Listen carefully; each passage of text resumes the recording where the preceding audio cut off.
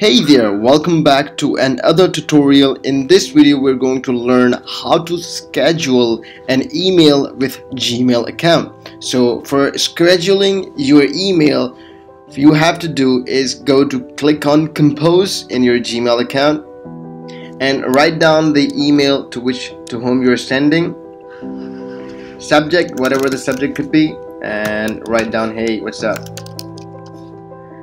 and below when you see an option of sending don't click on it. Just go beside and you can see another option.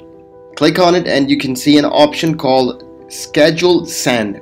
Click on it and you can see the custom based uh, the uh, suggested timings. Or you want to do that or you can pick up the time and date you wanted to send.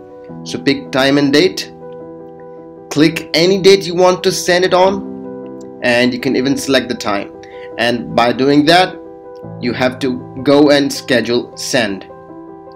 And this uh, email has been sent and you can even edit it and delete it and add some other uh, do some other features by just going to the another option called scheduled.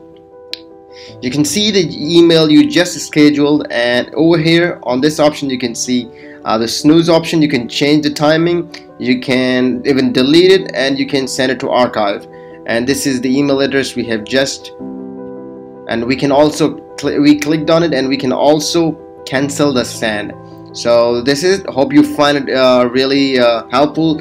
And if you think this these videos are helping you please make sure to leave us a comment and see you in another video. Keep visiting Tiges Schooling